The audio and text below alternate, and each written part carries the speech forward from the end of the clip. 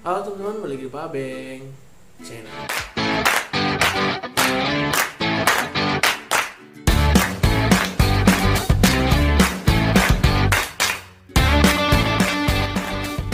Yo guys, di video kali ini saya ingin uh, sharing aja sih pada kalian uh, gimana sih solusi jika handphone kita mengalami force close atau keluar sendiri dari aplikasi yang kita ingin buka ya guys. Masalah ini mungkin terdapat di Android 11 ya.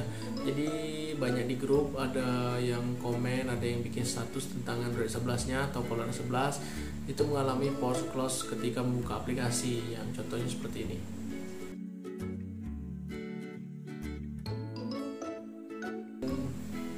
Dan apa yang harus kalian lakukan? Kalian bisa lihat video berikut ini, Kak. Di sini saya ingin uh, share pada kalian ya mungkin uh, setiap handphone beda-beda ya caranya. Cuman kalian agak uh, ada salahnya kalau kalian coba, guys. Mungkin di sini permasalahannya ada di Android 11-nya ya. Mungkin masih ada bug atau apa. Nah, jadi uh, sesuai petunjuknya ini, saya bisa lihat ini. Ini bisa buka aplikasi pengaturan, terus menuju ke manajemen aplikasi daftar aplikasi titik dua pojok di kanan atas terus cari Android System Web View.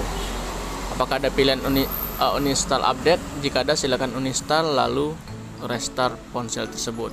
Nah kalau di handphone saya kebetulan tuh nggak ada masalahnya jadi uh, nggak ada nggak bisa diuninstall ya. Nah, kita contohkan lagi ya manajemen aplikasi pengaturan ya. Terus pilih daftar aplikasi. Ini jika handphone kalian bermasalah force close ya.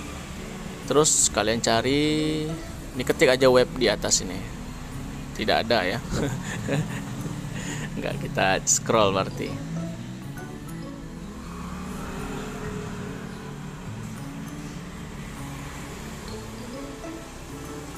Oh ya, ini titik dua di atas tampilan sistem. Nah, baru muncul semuanya. Ah, ini Android System Web View. Nah, jika di sini terdapat uh, copot pemasangan uninstall update, nah kalian bisa langsung uninstall update. Di sini karena yang saya nggak ada masalah ya, jadi nggak ada ya. Nah, lalu kalau udah di uninstall update, itu kalian bisa restart handphone kalian. Nah, muncul pertanyaan jika uh, handphone kalian nggak ada uninstall update, terus masih force close ada force close kalian bisa mungkin cari di Play Store ya siapa tahu bisa membantu ya kan? Kalian cari web view Android system ini. Nah di sini kalian bisa langsung update di sini ya.